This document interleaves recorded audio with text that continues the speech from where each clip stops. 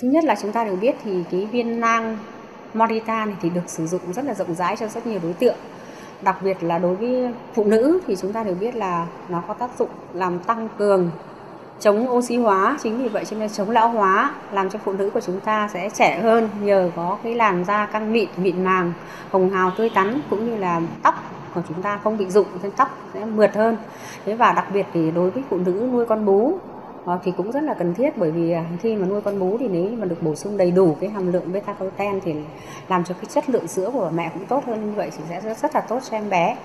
à, còn đối với phụ nữ tuổi tiền mãn kinh chẳng hạn ấy thì chúng ta cũng có thể dùng được cái sản phẩm này bởi vì là nó có tác dụng chống lão hóa cũng như là ngăn ngừa một số các cái bệnh ung thư như là ung thư tuyến vú hoặc là ung thư buồng trứng là một trong những loại ung thư mà cũng rất là thường gặp ở chị em phụ nữ của chúng ta.